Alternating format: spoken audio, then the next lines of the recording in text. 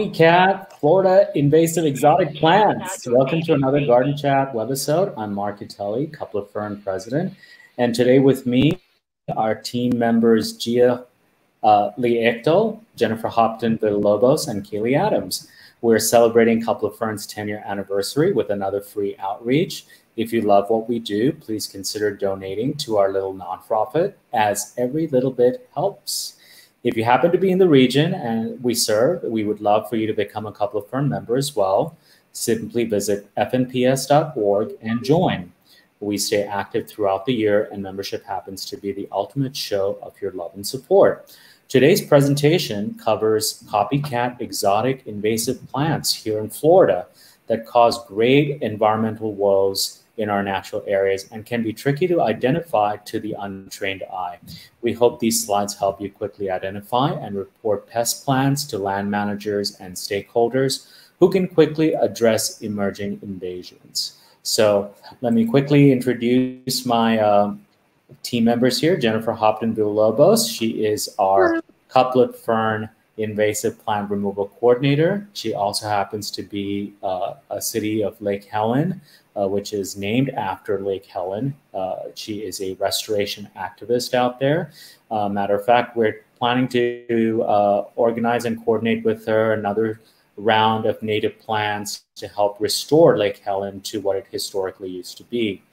Uh, Gia Lee Ekdahl is our Cuplet Fern plant propagation coordinator. Um, she also happens to be the creator and admin and moderator of the ever popular Florida Native Gardening Group. It now boasts over 7,000 members and has over 30 posts per day.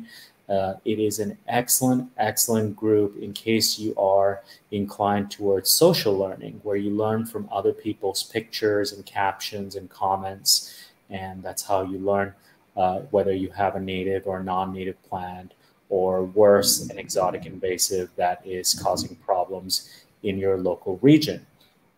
Cali Adams happens to be Cuplet Fern's Children and Family Activities Coordinator. Uh, she also happens to be uh, the Native Gardening Group's moderator. Um, she is also a Seminole Rural Boundary Environmental Preservationist. So you'll see a lot of Cali if you're out in the uh, rural areas of Seminole County. Uh, she likes to pull over on the roadside and assess different plants. Matter of fact, that is one way that she found out uh, that we have a population of an endangered milkweed, Asclepias curtissii. Uh, I wanted to also especially thank FISP, which is the Florida Invasive Species uh, Partnership, CISMA, which is the Cooperative for Invasive Species Management, uh, I believe the A stands for Association, University of Florida, and the University of South Florida, as well as other educational institutions. Uh, without their guidance and their publications and pictures, uh, this presentation would not be what it is now. So special thanks to them. Uh, let's jump right in. I'm not going to spend a lot of time on these slides because we covered them before, but this is just a recap uh, general determination of a Florida native plant is uh, it is prior to European contact. It is found in the state. It is usually understood as indigenous and happens to exist prior to significant human impacts and alterations of the landscape. Uh, more information on this definition can be found on fnps.org. How do we define what we see as native, non-native, introduced, established, invasive? This is a great infographics uh, put together by FISP, and it shows that natives are the ones that are usually found before European contact. Non-native plants doesn't mean that they're naughty. It just means that they were uh, intentionally or unintentionally brought here by new, humans, but are not uh, escaping out into the wild Established and invasive is once you begin to see an emerging problem. So species that are having self-sustaining and reproducing populations without human intervention uh, shows that it's established and invasive is when it is causing harm to the environment, the economy, and to the overall human well-being. So invasive is the worst uh, category of a non-native plant. Um, invasive plants is another great infographic. They get their edge from many different characteristics. They're tolerant of a wide range of environmental factors. Matter of fact, today's presentation on copycat invasives really highlights that some of these copycats can tolerate a wide range of different niches in our environment. And that's what uh, is the key to their success. They have rapid growth rates, they're highly efficient in producing lots of seed, lots of prolific seed, viable seed. And they also have something called allelopathy, which is chemical compounds that inhibit the growth and reproduction of other plants around them. So they limit the thrivability of other plants in their immediate vicinity. Uh, and here's another important infographic. Uh, we will be quoting a lot about uh, FLEPC, which is also known as Florida Exotic Pest Plant Council.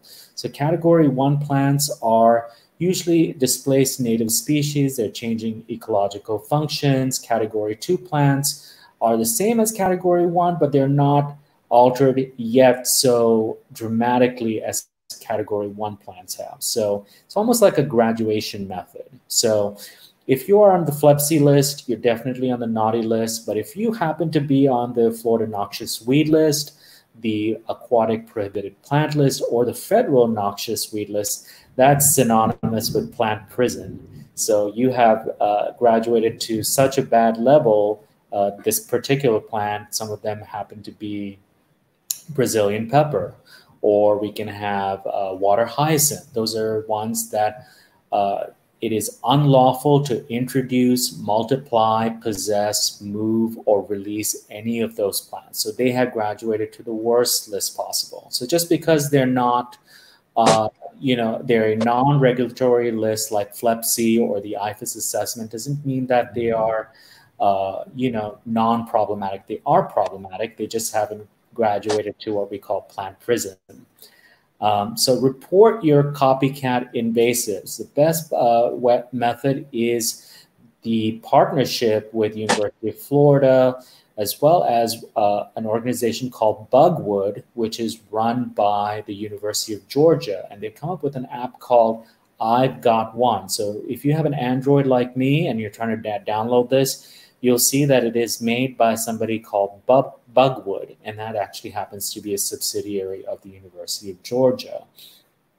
There's a great way to report your non-invasive, I'm sorry, your non-native plants.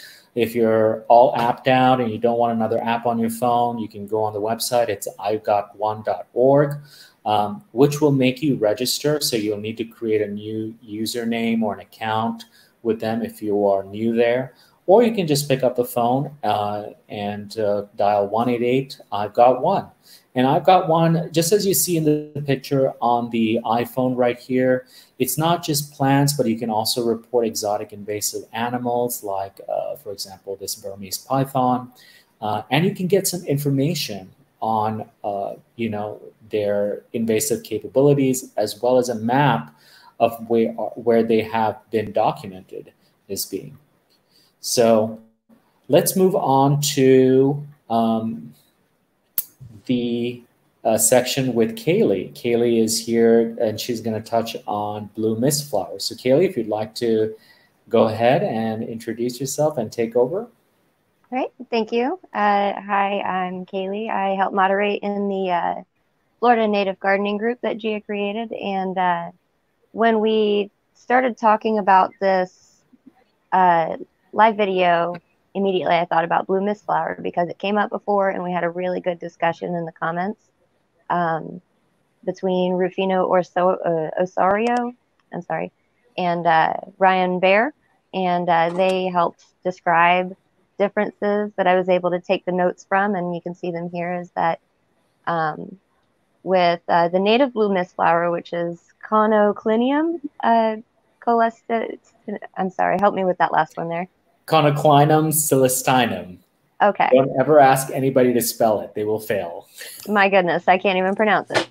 Uh, so, um, what they pointed out is that the, the, leaves in the or the stems and like the apices of the uh, leaves where it meets the stem uh, have a reddish tinge to it, and they have uh, less obvious kind of hairs that are you know kind of glands on the stem and uh, they don't grow very shaggy or anything like uh, we'll touch on the invasives grow, you know, very messy looking. Um, they're also not as strongly serrated as the invasive counterparts, um, and uh, like around the tip and the where the uh, stem meets, uh, they can have reddish tinging there, is uh, according to the discussion that we had there. Um, and uh, they come to a point, and from what I learned is that they're actually uh, facultative, is that they can grow in wet or dry sites. I thought that was interesting. Not many, you know, are adapted for doing that so well. Um, it's also in the uh, Asteraceae family, just like the uh, uh, invasive ones that we're going to look at. They're in the same family, except for Paraxalis. Uh, that one's in a Praxilexis. I don't know how to pronounce that one either. Uh, but yeah, that's in a different family. But um, so these are the notes on the, the native one. And then the next slide will go into some of the uh, copycats. These guys. So uh, Ageratum is known as blue mink uh, or floss flower. And uh, Ageratium or Ageratum conyzoides Please help Con- me on that one. Conyzoides, Ageratum conyzoides. Ageratum. Okay. See, I, I told you I would butcher these. Uh, that yeah. one is tropical whiteweed. And then the Praxelis, they're uh, Praxelis clematidea. Uh, that one. Praxelis. Praxelis. Okay. Praxelis.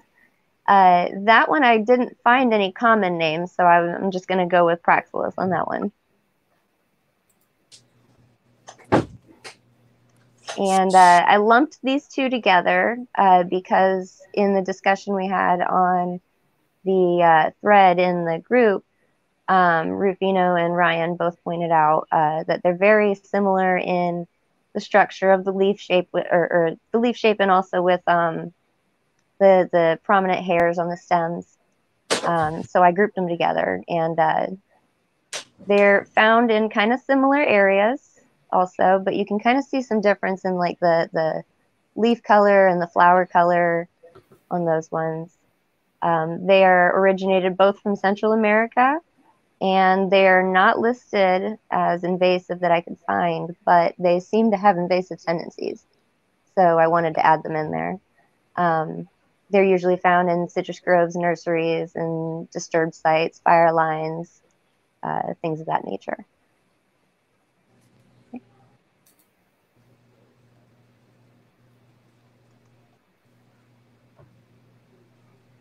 And uh, the defining characteristics of these, as they said, especially uh, with these ones, the crushed leaves smell like uh, cat pee. So you don't want to go and testing that out unless you can stomach that. Um, but so I included some pictures that we had from the discussion. Um, the two top left pictures were from the group. Um, one was by a member, that's the one that has the little green bee on it. And then the top left was actually Gia's plant that Ryan pointed out as being the ageratum. Um, and so I, I, added the other pictures. Um, on the bottom, that one is the conyzoides. And the leaf shape looks very similar, I think. Uh, so it's very confusing to me to be able to see those two apart. So I found it difficult to create two different slides for them. Um, they both have you know serrated leaves and uh, shaggy growth, smelly. So it's they're very similar. And then we have the Praxelis, which is uh, kind of found in a different area than those ones are. It's in Central Florida mostly. It is listed as a Category Two, but it's not uh, federally prohibited. Um, it can grow as an annual or perennial, and it's shaggy growth, um, very similar also to Praxelis or, or that one. Um, and it can grow, it looks like in, uh, uh, you know, rocks and concrete that I added there on the, the side there is that's a pretty, pretty weedy nature to be able to do that. And then next, we skip, okay. I think the, we were, we went one more. Yes, with the Praxelis there is the the leaves and the stems are not usually tinted with any red or maroon, uh, as Ryan and Rufino told us, and uh, they also have prominent hairs on the stems. And the leaf shape is different from the ageratums. It's kind of longer, still serrated, but not as sharply. Um, but they also smell bad, just like the ageratum.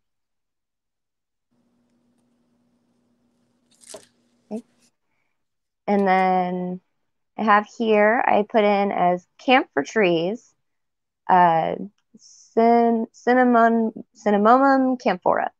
Uh, it came from Asia. It was a very popular landscaping plant, and now it's a category one, but it's not federally prohibited. I think it should be. Um, it's very aggressive and it hosts a fungus that can affect the red bays, silk bays, and all of the laurel trees, uh, plants that we have native to Florida. It causes a blight that kills or laurel wilt, um, where you'll see half of the tree or one branch just turns completely dead and then following the whole tree. So it's pretty bad. So there we have on the left there is uh, Persea borbonia, that's the red bay. And then Prunus caroliniana, I hope I said that right. Uh, that's the cherry, cherry laurel tree.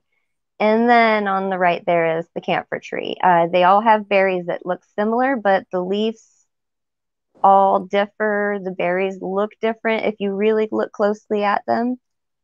Uh, yeah. But Carolinia and the camphor are very comparable. That's really tricky. Mm-hmm. You have to really look at the uh, the end of the leaf shape there. Yeah. Like with uh, the camphor, it has that more of a tip to it. Yeah. Yeah, so that one gets me a lot because I have a camphor tree in my yard and I have red bays everywhere. So it's like, which are you? Got to figure it out. We Dig have prunus but I always get mulch from different places, and the camphor comes in mulch when you mm-hmm get it from a store. Oh yeah, it suckers out. You get if you get one, you get a million. Yeah, they're bad. Yeah, I usually uh, just go up to the tree and take a leaf off and smell it. If it smells like Vicks VapoRub, like you have quoted, then we have a mm-hmm. positive ID for camphor tree. Yes. The uh, the bay trees also kind of have a smell, but not quite. You know, it's much different than um, a camphor leaf. Mm-hmm. So. so I had a lot to say about these. they're uh, they're also allelopathic, so they you know inhibit the growth of other plants around them. Uh, they take over the forest floor once it starts dropping its seeds, and the birds love the berries, so they grow everywhere. They're also evergreen; they don't stop growing, and they get huge. Um, the leaves, you can tell they're alternate on the stems. Um, you won't find the nodes coming apart at the same time. They're always in different spots on the stem. Mm-hmm. Um, and the leaf shape can be from oval to elliptical and pointed, and sometimes the point can have a bit of a curve. Um, they have, uh, I don't know the terminology exactly here for the, the veins. They're very, you know, obvious veins there. Um, yeah. And then what is it that uh, uh, you would call that for the down on the the right side picture down there. Mm-hmm. You see the veins there. Is what's the terminology for that? Uh, they would just say prominent venation. So the, the, okay. veins. The, okay. Well, I'm learning here too. To recognize. yeah. I love, I love the fact uh, that you um, so we have a midrib. Uh, which part are you talking about? The veins, the the way that the veins shape in the leaf. Oh, the way the veins are shaped. Hmm. Yeah, I don't know. We can look it up if you want. Would you like to do that? I guess Mark, Mark, is, you're on mute. Oh, am I? No, I hear you. All right. I'm, oh. I'm... Hmm. This is strange. yeah, I don't hear Mark at all. Leaf venation patterns.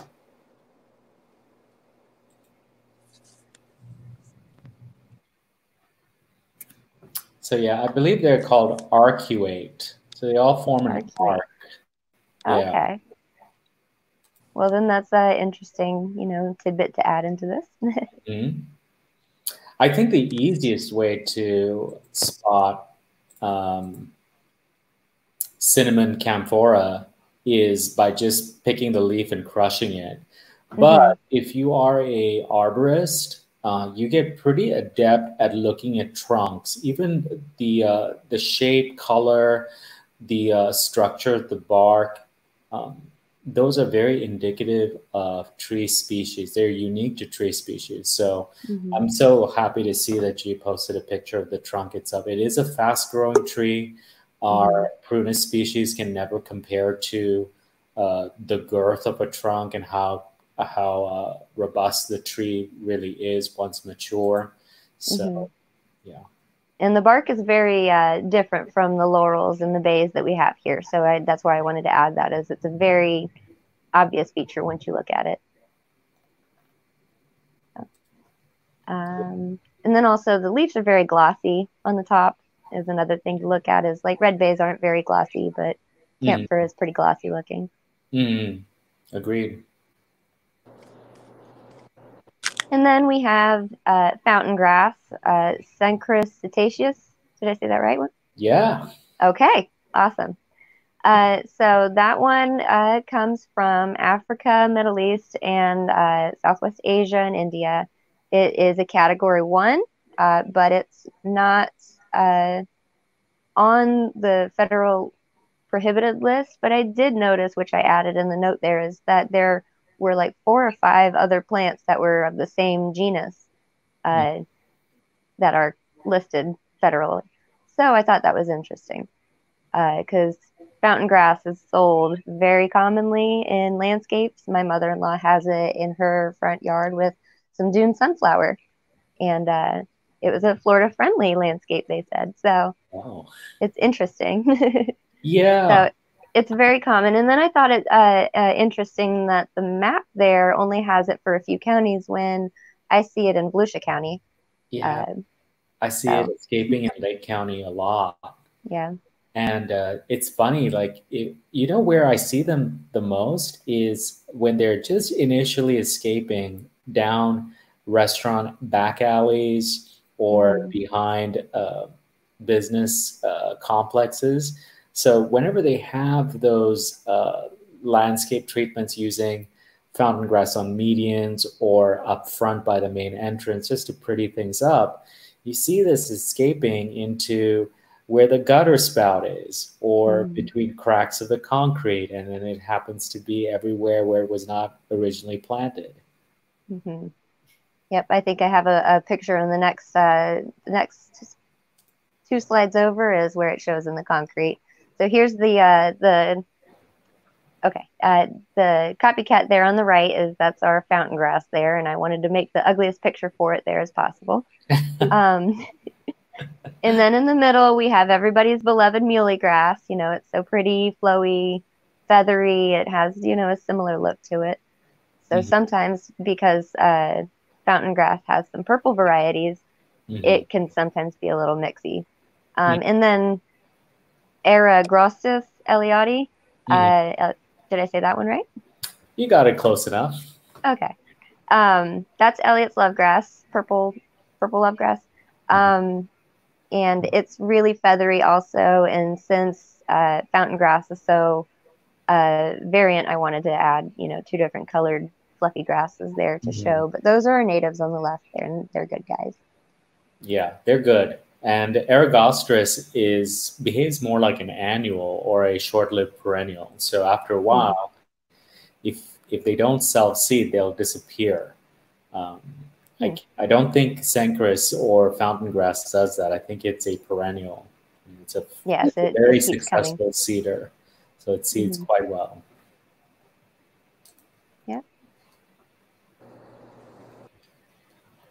Oh, so I guess uh, the picture that I had initially there didn't.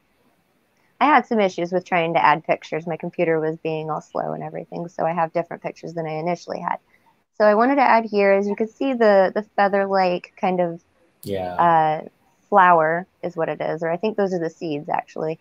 Mm-hmm. Um, it's very fluffy and soft, and so people love running their hands through it. They think, "Oh, this is so nice! I see it everywhere. It must be native, or it looks like these others." But so I added different colors here too because it's so variant in um, the mm-hmm. foliage too. Mm, yeah. Um, and typically they're about three to four feet tall, although I've seen them get a bit bigger um, when they're just never trimmed back and they just keep going. Mm-hmm. Uh, and their narrow leaves uh, kind of curve as they grow outward and down, and uh, it's linear, so you see the uh, the strong straight lines along with the leaf as it goes. Um, the flowers appear on stalks that come up about the same height as the leaves and uh, fall over in the same droopy kind of uh, form to kind of flow. And they range in color from white, pink, red, purple. You know, they're all over. There's so many cultivars. Yeah. Um, and the flowers are about 12 inches long usually. Um, and it's a year round grower, just keeps coming. Yeah. I agree. Yeah, it's. It, I call this uh, the inflorescence almost like a plume, and yes, that's a good one. Like a like an animal's tail. So when we compare it to muhly grass, it's more of a feathered approach rather than this compact tail like inflorescence.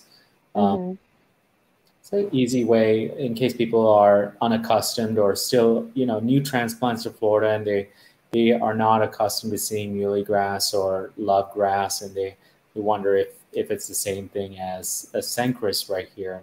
Yeah, it's a telltale sign is the, the inflorescence. It's pretty compact, mm-hmm. and it's almost like an animal's tail, like a fox's tail. Yeah. So yeah, thank you, uh, Cali, for your presentation. And guys, if you have these, uh, especially uh, which is a um, category two Flepsy plant. Uh, I'm sure they would love to hear from you if you have camphor tree, but camphor tree is so uh, found pretty much everywhere in Central Florida. But if you see Praxelis uh, somewhere, or if you see Argyrodum uh, that Cali just covered, uh, go to the website, or if you have the app, report it. I've got one. Uh, it's a great method for early detection and uh, addressing things quickly before they get out of hand. So I've got one.org or 188, I've got one. All right, so it's my turn, and uh, I just covered, I think, three plants. Uh, the one that I really wanted to cover was Ludwigia peruviana. And this one is, as you can see from the distribution map, it's found everywhere, virtually everywhere. I would uh, account that I'm pretty sure you you'll find it vouchered in citrus and the rest of the handful of counties in the Panhandle. So it's very successful. It's a statewide noxious weed, adaptable in many different habitats. Many of our Ludwigia species, I believe we have uh, close to uh, over 30 vouchered Ludwigia species just here in Florida, also known as primrose willows. Uh, and the majority of them are native. Uh, the reason why Ludwigia peruviana happens to be particularly problematic in Florida is because it demonstrates great adaptation uh, to many areas. They grow in dense thickets, uh, in roadside ditches. You can find them uh, these days alongside uh, other noxious plants like Brazilian pepper. Um, they sucker, in other words, they are rhizomatous. They send underground suckering uh, vegetative plants that will reproduce, I'm sorry, which will grow and become separate plants over time. Uh, you know, and they produce large amounts of seed. Each plant is capable of producing tens of thousands of viable seed. Um, you know, and additionally, when we try to hack this plant and we inadvertently leave over some of its trimmings, you know, off to the side of the road, don't ever do that with this plant because it does have the capability of vegetatively growing into new plants. So they're very successful at uh, displacing native plant communities. Our Ludwigia species here in Florida are uh, wetland plants or facultative wetland plants, meaning they can, uh, you know, tolerate some uh, drier conditions in parts of the year. But Ludwigia, because it has, we'll go over this, it's a rather robust plant. As you can see in this picture right here at the very bottom, you see like a small icon of a human being and a mature mm-hmm. plant. So it can grow up to be eight to 10 feet tall easily once mature. So it's a rather statuous plant. Um, but here it is with some of our natives. So Ludwigia arcuata, and Ludwigia alternifolia.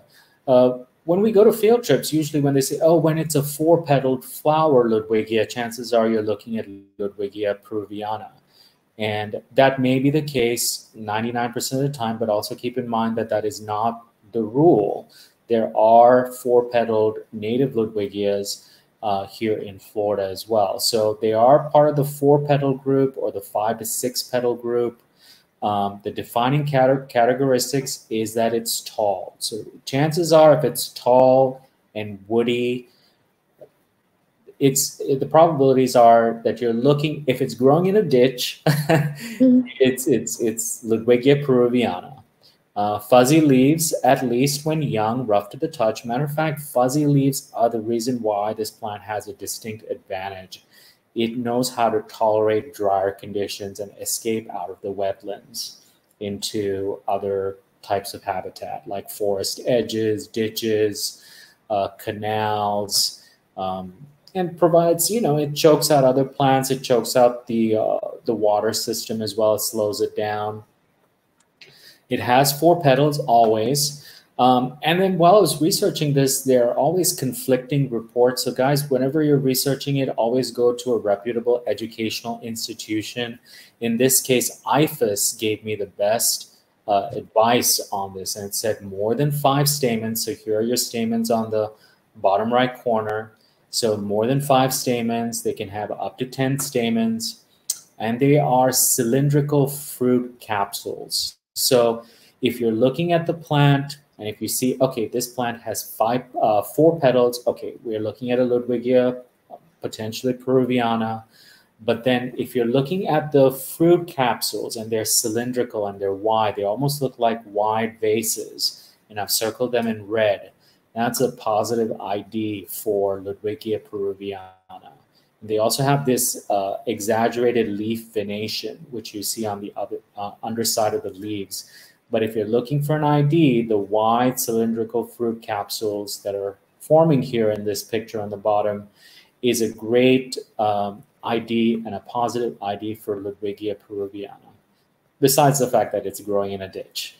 Um, a great resource that I found was through IFAS, and I'm just going to pull it up briefly. It's a rather long presentation, but it has this wonderful key, and this is all for our um, you know, 25 plus odd species of Ludwigia that are found in Florida. So if you want to key out our native species to find out which one you have, this is a great uh, publication, and you can simply Google IFAS Ludwigia Guide, and it should pop right up in one of your top search uh, results. The next one I want to talk about is Passiflora ciliata. So this was known uh, not too long ago as Passiflora fetida. So it was uh, thought that when you crush the leaves, it has a very stinking, unappealing odor. So Passiflora fetida was what we thought we had, and then I found one in my yard, and I, I of course crushed the leaf and took the chance. Uh, I wanted to smell it, and it didn't have a smell to it at all. So Passiflora fetida is actually not found in Florida. It is Passiflora ciliata, and that's the change that, that was made on the University of South Florida's herbarium. Now, in case you are citing this out at IFAS, it's a little bit behind, but they will catch up. But they're still listing this plant as Passiflora fetida. So the key for Passiflora fetida is that it has these really fuzzy, multi-branch bracts, and you can see them in the bottom two pictures. Matter of fact, you can see them in the top right picture, right behind the flower as well. Um, but that's actually a positive idea that you are having uh, Passiflora ciliata growing. It is not on the FLEPPC list, but it does show high invasive risk per UF IFAS assessment. So this is an emerging problem. Um, so here we have our common passiflora. So we're always, uh, you know, familiar with passiflora incarnata here in Central and North Florida. Great, robust, uh, suckering vine that uh, probably prefers large open spaces where uh, it can grow and thrive um, in large areas. Passiflora pallens, which is not really found here in Central Florida, but is found in southern Florida. Matter of fact, southern Florida has many native pretty species of passiflora vines, uh, more so the, uh, than in central and north Florida. And then we have Passiflora ciliata. So that's your copycat right here. And the defining characteristics of uh, Passiflora ciliata is that the leaves are smooth except around the margins. And that's where it gets the ciliato uh, species name, is that it's ciliate. And ciliate means basically tiny finger-like projections. And this is an excellent picture taken by Alan Franck at the USF Herbarium. Um, but it shows these really tiny finger-like pro uh, projections that give it an ID for Passiflora ciliata here in Florida.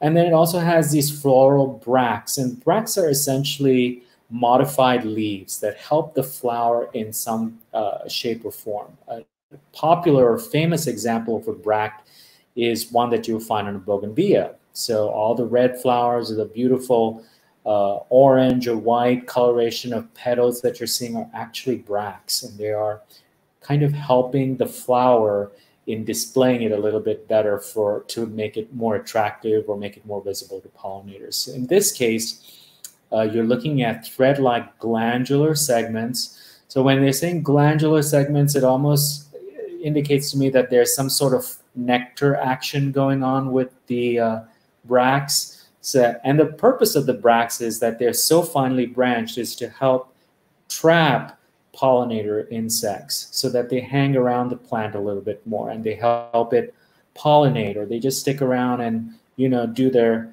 uh, pollination services a little longer. So here you have it, and those are the three bracts, and that's a positive ID for uh, Passiflora ciliata.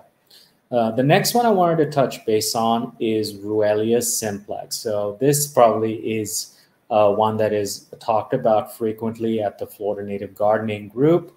Um, it is a category one, and unfortunately, you will find this being used uh, a lot in uh, you know garden stores. Um, you know, this plant has a very tenacious and impressive strategy for tolerance and reproduction. So not only do they produce suckers that are rhizomatous, uh, so you know they'll send little uh, runners underground, and they'll uh, and you know it'll pop up as a new plant, but it also produces flowers with many viable seeds. Um, the next bad strategy and successful strategy, if you're looking at it from a plant's perspective, is that it tolerates full sun as well as full shade. Um, so it can thrive equally in both scenarios. It also tolerates a variety of soils with different levels of moisture.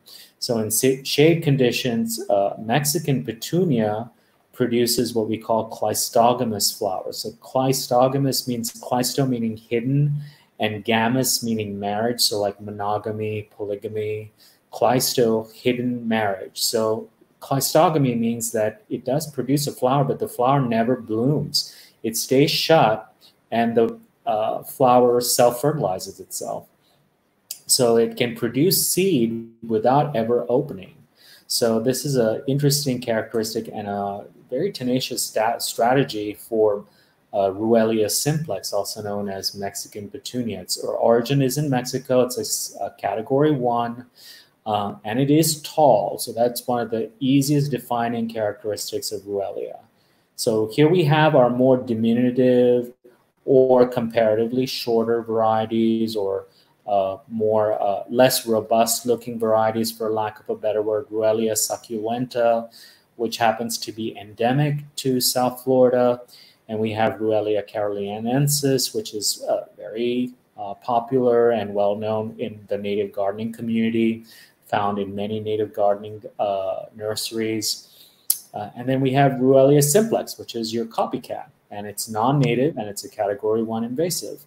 Another way to really ID Ruellia is its nodes. The nodes are the part of the stem where branches or leaves are coming off of. So that's your node, and it has a prominent swelling right at the node it does not necessarily have to be red. Matter of fact, we found Ruellia growing in large swaths in shaded wetland conditions, and this plant will not be red at all. It'll be more palish green. So don't let the red stem fool you into a uh, improper ID or a misidentification.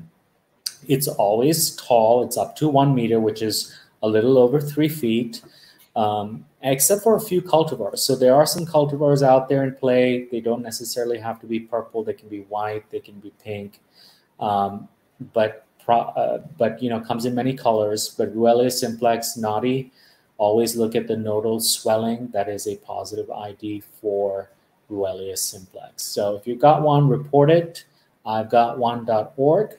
And I'm going to hand it over to Jennifer. Hello. All right. So I did um, research a little bit differently.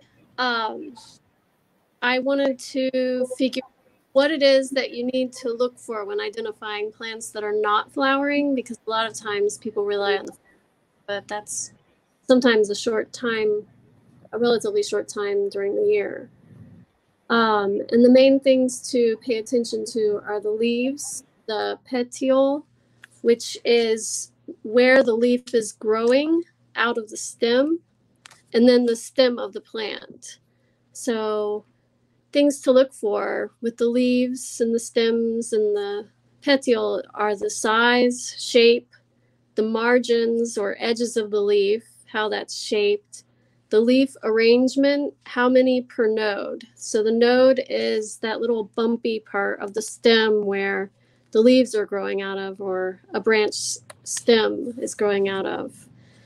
And um, the thickness of the leaf, texture, is it fuzzy? Is the stem fuzzy?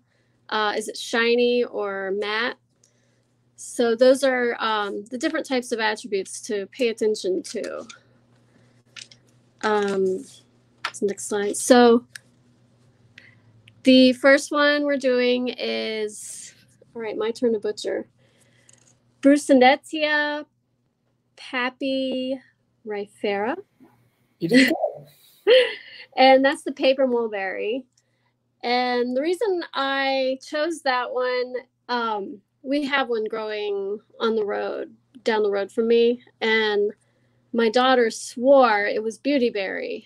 And I was telling her that it's not beautyberry, it's the paper mulberry. But I couldn't really explain why. It's just like, it's the shape of the leaf. That's all I could explain. So so it was it was interesting to go through this exercise to be able to say why. Uh, so it looks like this is a category two. Um, I would say it's more invasive than that, but but maybe there's reasons for that. And it says um, open invader of fields and forest edges, and um, it can reproduce through suckering, through rhizomes, and dioecious.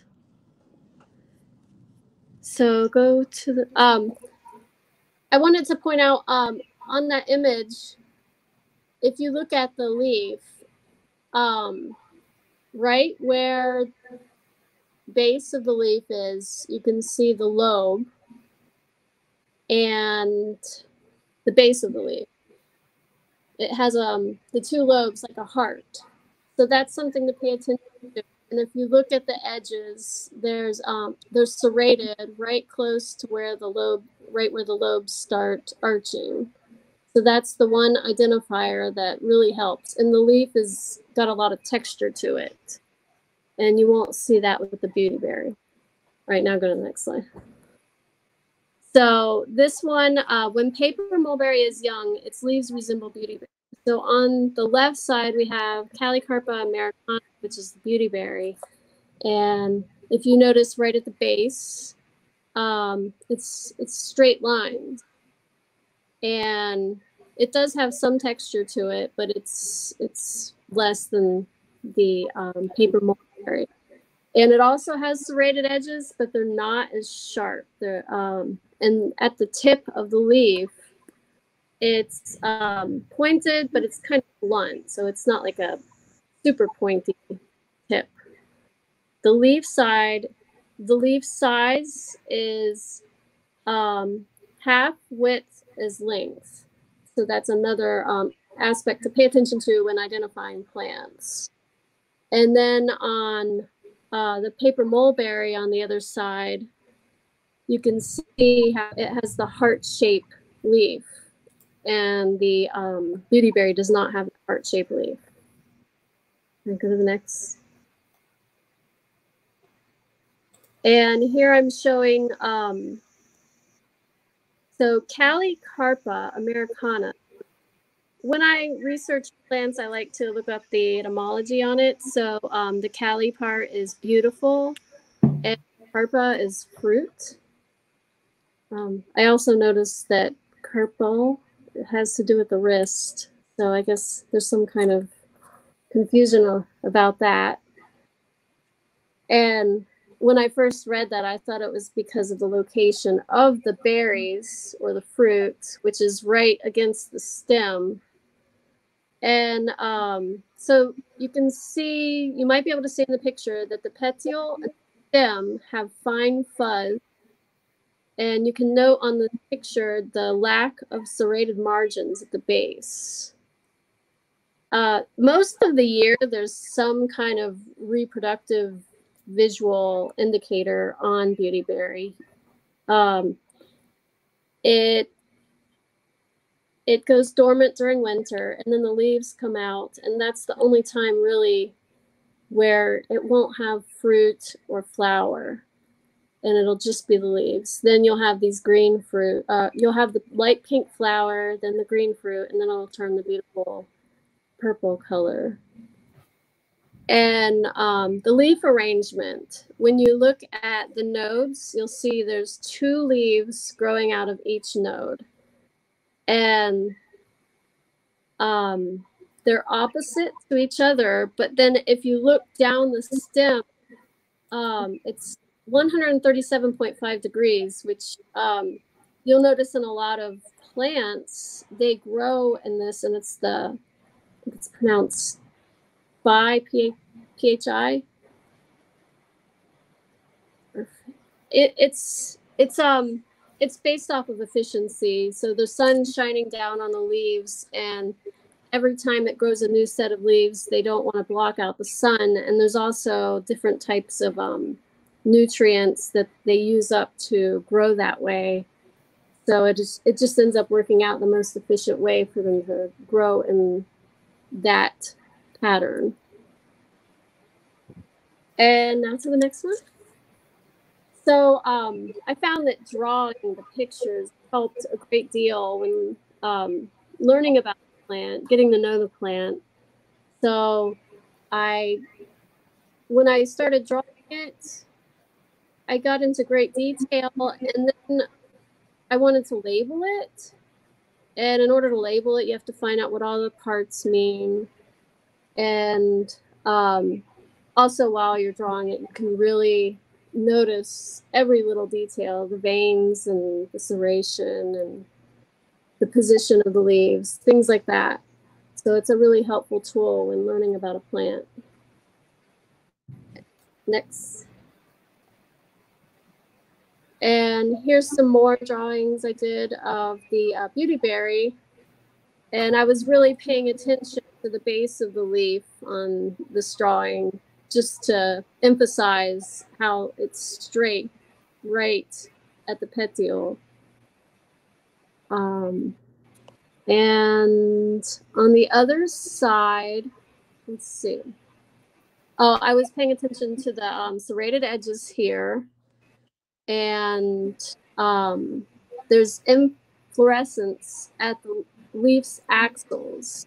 So there's a lot of little uh, pieces of anatomy on the plant that I learned about here. And what's really interesting about the um, the, the leaf's nodes, they're kind of like stem cells. So the plant responds in different ways depending on um, depending on what's happening with the outer world. So um, if everything goes right with this plant, it grows a leaf and then it grows the, the flowers and the um, but if if something happens like if it falls over on the ground um, and enough leaf litter or something covers it, it would grow roots and sprout up a new plant because of the um, the special cells that are in a leaf um, in the nodes. Great, we go to the next.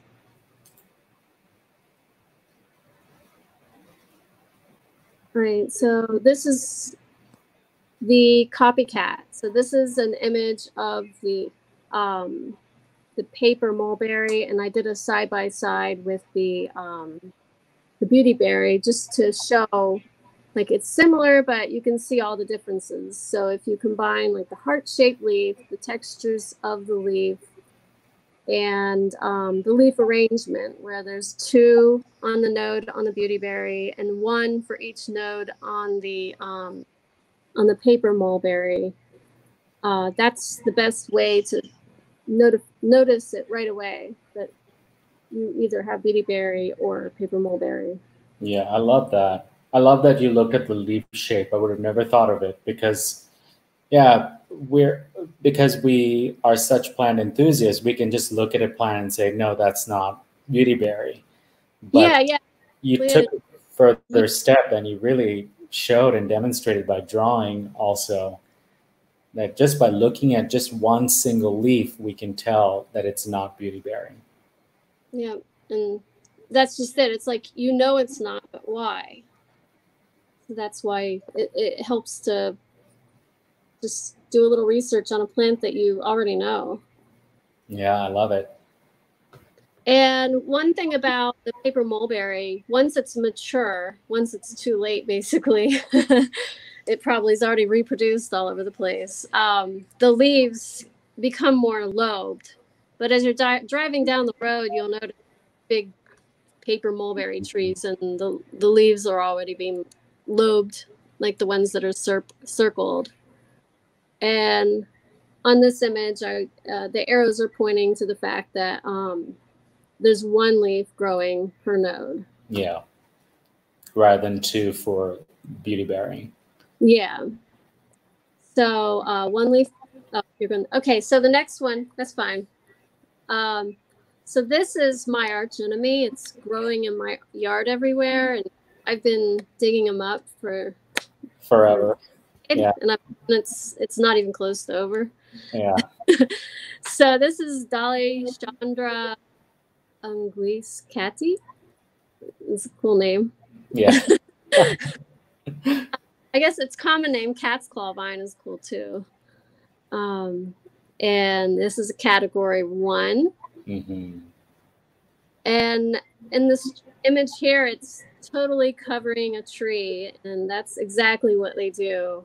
They cover a tree and smother it, and then the tree dies. Mm-hmm.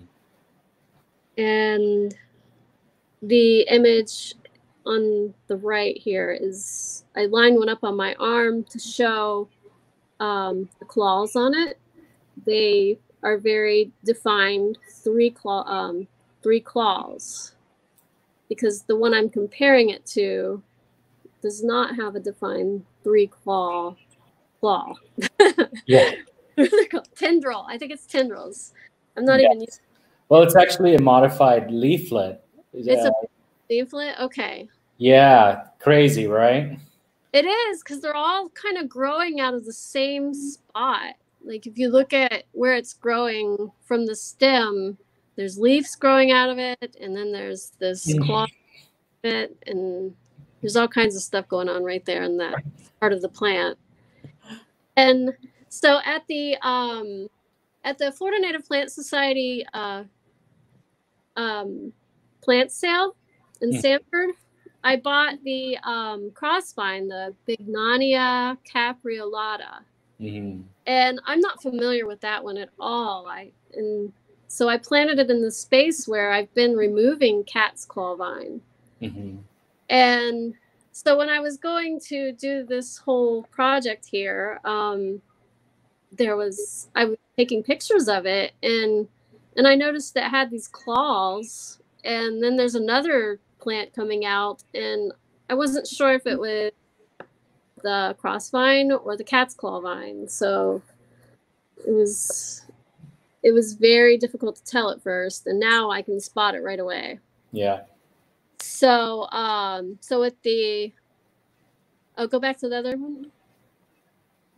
So with the uh, crossvine, you can see the claws are not really um, defined uh, three prongs. Yeah. They're kind of just, they have some kind of sticky adhesive to stick it to the Mhm. um, tree. And um, the cat's claw vine actually has like little tiny claws. They're not super sharp where they'll cut you, but you you can tell it it'll cling on this. it's yeah, yeah, absolutely. Um, and then the leaves are really similar, but um, go to the next one. So in here, it this is the cross vine, and the leaves are opposite with two basal leaflets. The arrow's pointing to these little tiny leaflets, and the cat's claw does not have that. So that's one great way to tell right away if it's cat's, cat's claw or cross vine. hmm Um, from the axil grows a, a petiole, and from that petiole grows the paired leaf. And the terminal leaflet is modified in the branch tendrils that have an adhesive disc to attach to surfaces. Um, and when you look at these leaves, you can see like the little bumps uh, are the lobes that Mhm. grow at the base. And that's another thing that cat's claw vine doesn't have. Also, these leaves are thicker and more stiff than cat's claw vine. Yeah. And Jennifer, I don't know if you saw this, but your picture here shows a tendril also. So it doesn't have those. Yeah, it's like uh, branching. Yeah. So it's not that classic three prong or trident type uh, Yeah. hook or hooks. Yep. Definitely not a cat claw. All There right. Again. more images. Um, yeah, I was pointing out um, one of the things I noticed when I'm looking at this plant growing is if it doesn't attach to anything and it's just kind of um, wavering in the air, at Mhm. some point the plant gives up on making those claws and they just dry up and it keeps going. Interesting. Um, so note the lobes at the base of the leaf. Tendrils not distinctively forked with three prongs, and they're also not sharp. All right, uh, next one. Um, so here's the Dali Chandra anguis catty, the cat's Mhm. claw vine.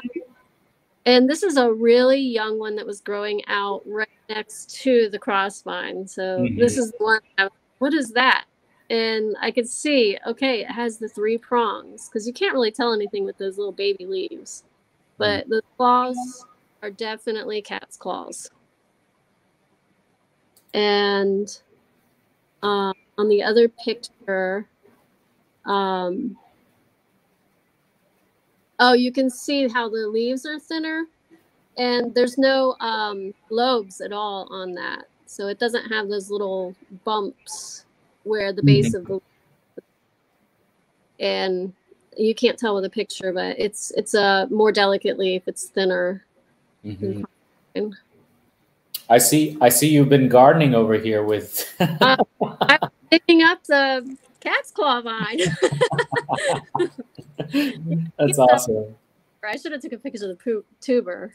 Oh yeah, oh, those are infamous. Yeah, they are. And here's another one. This is the one that was growing right by it before I pulled it up. And you can see how the leaf can vary. Mhm. There's some that are really wide. Yeah. And then usually you'll see them where they're more long, classic leaf shape. Mhm. Yeah, those are those are the earliest leaves, Oh, and they do. and that was another thing. So I have it growing actually in my backyard, like as a ground cover. They will. So it had covered this orange tree. I don't know if it killed the orange tree or if the orange tree died from a disease, but it grew all over the orange tree, and the orange tree died. Mhm. So um, I burned the dead orange tree, Mhm. and it was too late. The cat's claw vine has already grown all over the yard. I've been mowing it, assuming that it would die one day, but it never did. Yeah, Yeah, there so, are no there are no biological controls for this vine. Only herbicide treatments, unfortunately. Yeah. So it when it grows along the ground at all the leaf, um, it'll develop little that go into the ground and continue on its track all over the place. Yeah. So, not a fun plant to have. All right, so drawing helps you see the details and notice the anatomy. So if you draw photos and diagram the different parts and learn the name of the anatomy, define the names when they're in Latin, um, and learn the etymology, it helps you remember um, remember all of these. So these are just my own personal notes when I was learning about this. Absolutely, you did a wonderful job. I wish I was uh, that gifted in sketching, but this looks awesome. You know, um, I don't think I'm gifted. I think it's just, um, you know, you just keep doing it. You just keep mm-hmm. doing it. I I think I improved just doing this. Mm-hmm. so, and this was um, some more sketching of the crossvine. Um, so that's when I really noticed the little um, the leaflet and the way the the plants were growing. They grow opposite, but it's like it has two opposite stems, and then the stems branch into opposite leaves. So there's mm-hmm. a little pattern than what you're used to seeing on a plant. Correct. Correct. It's crazy, but that claw is actually a modified leaf. And it just is a testament to how complex plants can be because they've been around for a long, long time. So they've had plenty of time to evolve and specialize and create these unusual characteristics. So thank you, Jennifer. Yeah, if you have cat claw vine, visit I've Easiest way to differentiate cat claw vine is by that trident claw you know that's a positive id that you have cat claw vine they'll always tell you to go find the mother plant because usually when there is uh, a cat claw uh, bed in your lawn you need to go find where the mother plant is because those are all the seeds that have germinated into your lawn. Keep making seeds yeah. thousands every year and thousands upon thousands yeah. And they are wind dispersed so they fly far and wide so you may not necessarily have one in your immediate neighborhood. It may be one neighborhood over. But yeah, go find the mother plant and get rid of it, and that will help with the uh, success of your eradication. So, anyways, I'd like to pass it on to Gia. Gia, would you like to talk about Chinese wisteria?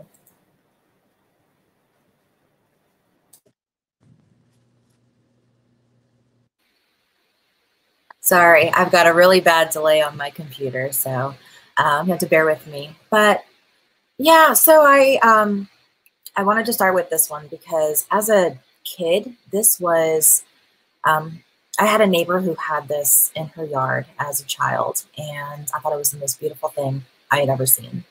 And um, as an adult, learning about native plants, I found out that a lot of some of my favorite plants ended up being horrible. Um, so actually, I'm going to talk about a couple of them. But so this is Chinese wisteria. Um, it, you know, origin. Um, when I was researching, um, I saw the origin listed as both Japan and China, and it is listed as a Category Two, um, invasive exotic. Um, some of the interesting things that I, I found out about this plant is it can live for a very long time. and It can get very, very large. I, I didn't realize how large they can get, but um, individual plants have been seen to live for upwards of 50 years. And um, basically, the, the reason it's such a problem is, you know, they are so, so long lived and they get so huge. They will pretty much smother whatever comes in their path. They will climb up large mature trees and then they will um, shade them out. Um, so they'll block the light for the tree and everything else below it. And you know they've they've been shown to take out mature trees. Um, so so this one is definitely not a great thing to plant, even though it's kind of a a neat a neat plant. But uh, yeah, we can move on to the next. So um, there is a native wisteria, American wisteria, which as an adult I was very happy to learn. Um, they can be found at native nurseries um, fairly commonly. I was able to purchase one and um, you can kind of see the differences a lot in the flower. Um, that's why I wanted to put the, just the flower clusters side by side because the, the leaves can kind of look similar and be confusing. But the flower cluster for American wisteria is very um, dense, kind of compact, and you see how they're all very close together. And with the Chinese wisteria, they tend to be um, sometimes, not always, but like more spaced, more spaced apart, as you see in the other photo. That they kind of, and they're much longer also. Um, so that's another way of kind of telling them apart.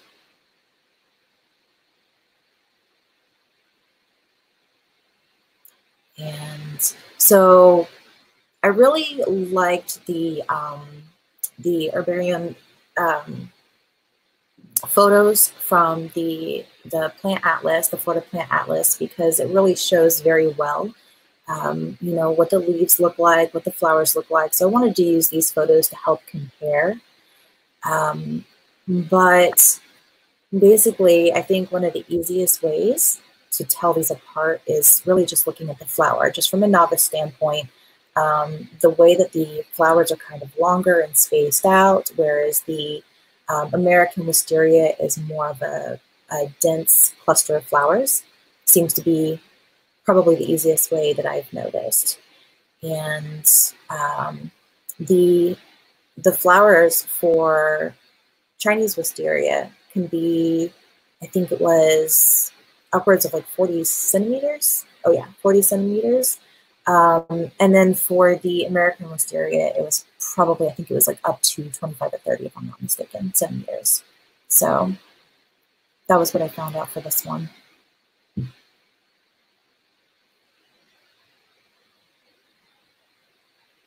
Uh, this was another heartbreak of mine. Um, as as a kid, one of my favorite things was taking the little flowers and sticking them inside of each other and making a little chain. And I would make little bracelets as a kid. So it had it was just like nostalgia for me. And um, there's there's a lot of controversy that goes on in, in the gardening community with this one because a lot of gardeners argue that butterflies love it. Um, they don't want to take it out of their yard because they feel it has too many benefits. But this this is a pretty bad plant. Um, I mean, a lot of people mistake it for native because when you look along roadsides, you see it, you know, um, taking over areas on roadsides. You see large four, five foot bushes that just, you know, with mounds of flowers and, you know, and, and that's, it's, it's not a good thing. Um, this plant, um, it is category one invasive. Um, and it does, one of the things that makes it kind of dangerous is that not only does it, you know, of course, crowd out native plants, but it also has the ability to hybridize with one of our um, very rare, endangered, um, endemic lantanas, Lantana depressa. So, and the danger with that is you can cause extinction extinction by basically contaminating the gene pool. So that's it, it's dangerous to have that around wherever Lantana depressa is because you know they hybridize so easily. So the um, the comparisons here, um, I wanted to show um, there, there are two native lantanas. There are more than two native lantanas, but there are two that are commonly available at native nurseries. So if you really like lantana and you want a replacement, um, the one that I would recommend um, more than anything would be the lantana involucrata button sage, because this one does has not been shown to hybridize with the invasive lantana, and whereas the pineland lantana does. So um, Roger Hammer actually wrote a really great article about this called The Lantana Mess. And anyone who wants to learn more about um, kind of telling the, the uh, Pineland Lantana, um, tell that apart from any of the various hybrids and cultivars that are on the market um, because there are issues with a lot of nurseries selling just a yellow um, lantana as lantana depressa when it's actually not. So um, he explains very well in his in his paper um, how to kind of tell the differences and where all the confusion comes from. So it's it's a great thing to look into. And I've actually seen him, you know, say that he wouldn't really suggest that people grow pineland lantana because of the danger of it hybridizing. So um, I'm kind of him on that.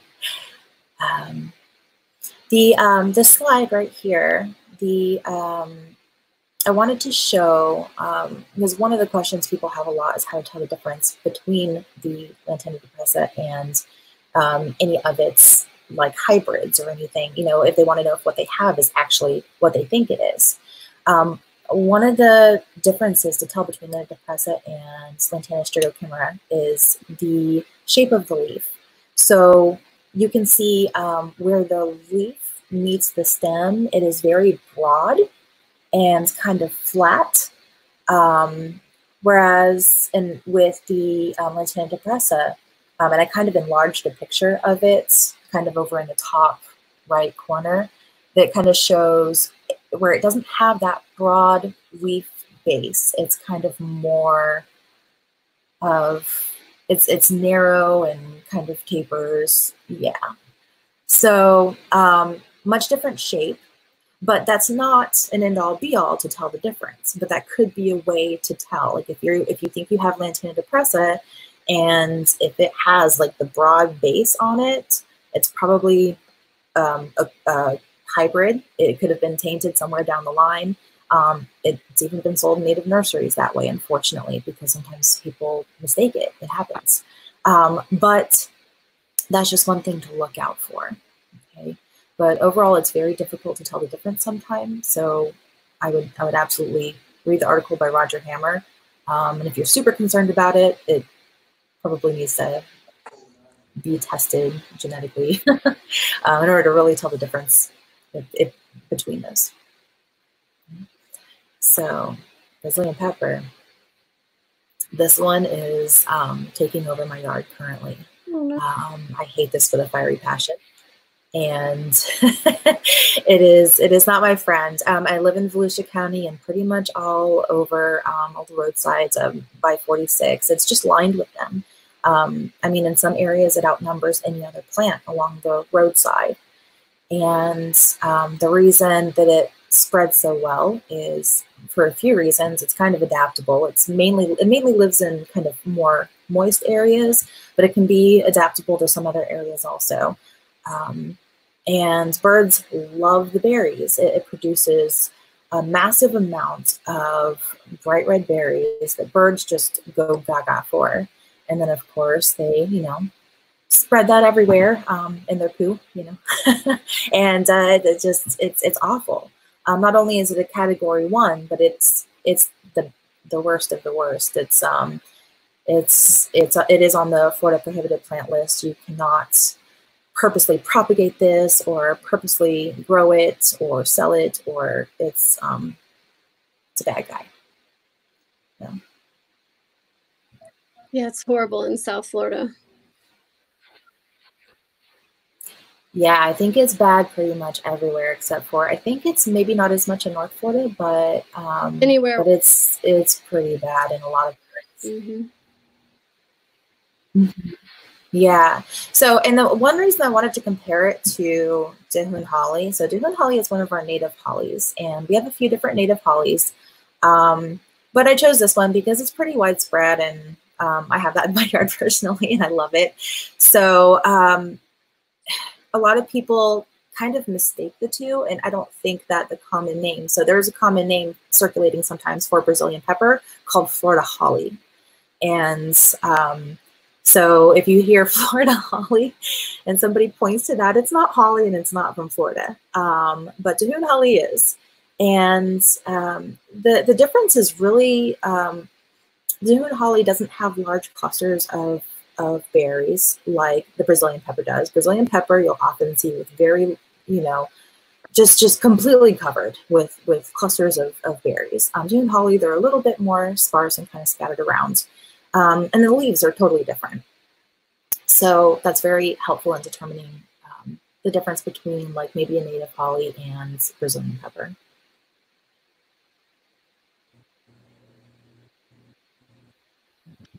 So, and um, here I kind of show the difference between the um, kind of the leaf shape um, with Brazilian pepper as opposed to Dahoon holly. So the um, the leaves are alternate and compound, and you see where you know you have the stem that comes out, and there's maybe what is it? One, two, three, four, five, six, maybe seven leaves um, that kind of come out from this main stem, right? Whereas Dahoon holly, you see that you'll have like, you know, one leaf that kind of comes out, all right? So that's that's like the biggest indicator with just the way that the leaves look. Um, they both kind of have toothed margins, but I mean, with with um, holly, it's more like um, not really serrated. It's more like a sharp tooth. And with Dahoon holly, it doesn't, it's not super prominent like some other hollies. You might not even see it, but if you run your finger along it, um, kind of like backwards towards the stem, you might feel like a little sharp little pinch. So a lot of the hollies have like the little sharp teeth on them, and Dahoon holly does, but it's just not as prominent as some other hollies. Um, also with Brazilian pepper, um, when you crush the leaves, that's once you get familiar with what it smells like, it's got a very pungent kind of peppery smell. Um, I would caution people with that though, because some people are very allergic to the sap in Brazilian pepper. It is in the same family as poison ivy and poison oak and poison sumac, I think. So um, some people are very allergic to it. Um, my son is one of those people. I can handle it fine. I can actually crush the leaves. I could do whatever, and it doesn't bother me. Um, my son uh, swells up completely. His lips and his throat start to swell. So it's not a good situation. Um, and because of the toxicity of it, in order to get rid of it, you also don't want to burn it because the fumes from smoke can, can be bad also.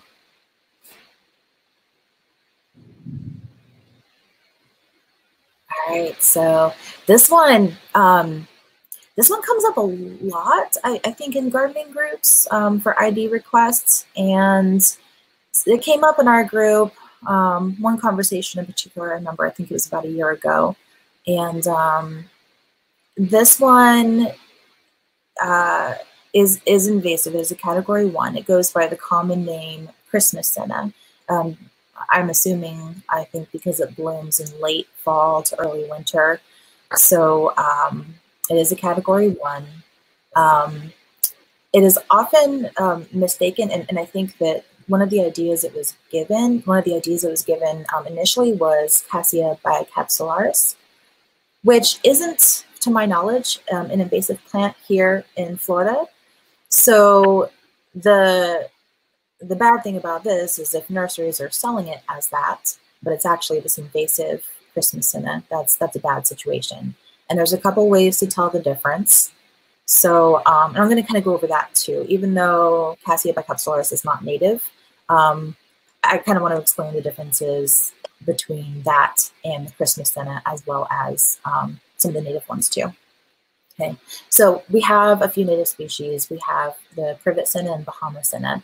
Um, privet senna has these very long, thin, um, kind of lanceolate leaves that are kind of pointy at the at the tip and it's a really cool looking plant. This is native. It's much more widespread than Bahama-senna.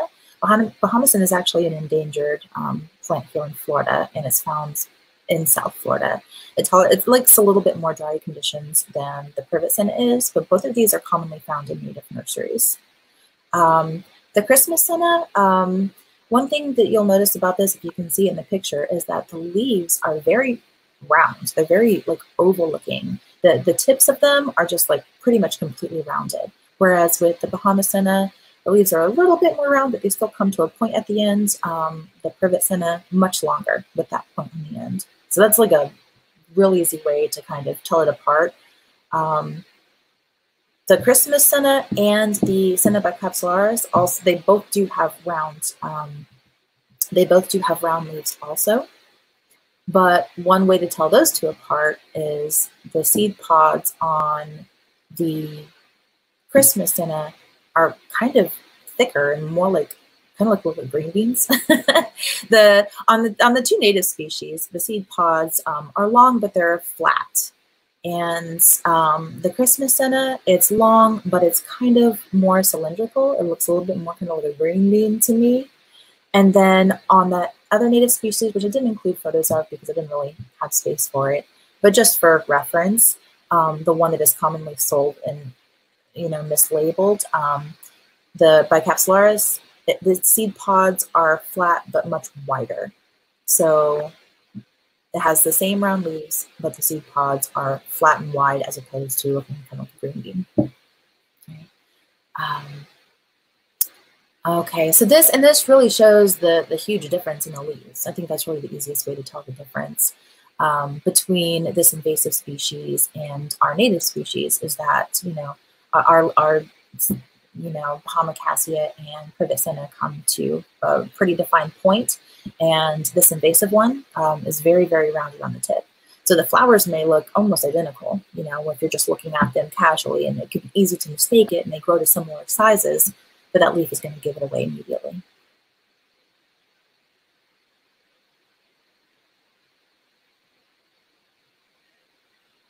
Ah, tuberous sword fern. Okay. So this one's actually in my yard also. Um, so this one is a category one also. Um, it does spread very, very aggressively through rhizomes and these, these little tubers that you see are more so like kind of like water storage for the, for the fern. Um, I don't know if it has any kind of reproductive purpose, but it, it's it doesn't not from what I've been reading, but it more spreads from the rhizomes that are underneath, and um, it's it is the only sort. There we have a few sword ferns in Florida, but it's the only one in Florida that you can find that has those little round marble-sized tubers. So if you dig up in the ground and you find that, then you can pretty much positively identify that it's the the the invasive tuber sword fern.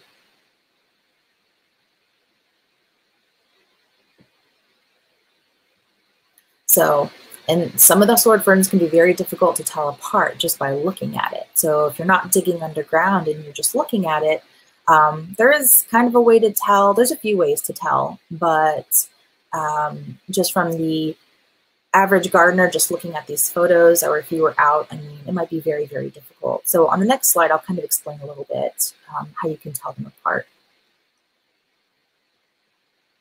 Okay, so one of the things that I, I was reading was that with the tuberous sword fern, um, the, the little leaflets that are coming off the side, and I did put like these little red markings right next to it to kind of show you. I enlarged the, um, the fronds to kind of show.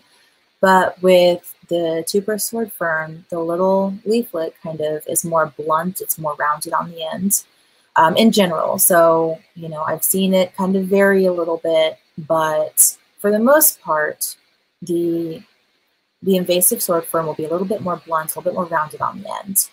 Our native um, wild Boston fern comes to more of a point. So you can kind of see that through these pictures, the difference. So like I said, I have seen variations, but in general, this, this could give you an idea if you're just looking at it and you don't feel like digging in the ground to try and find some tubers.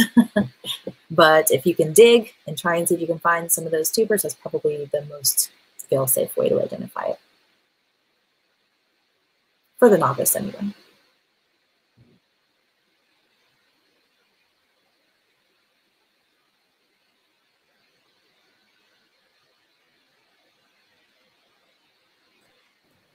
All right, I think we're. I think that end. was all the slides that I had, if I'm not mistaken.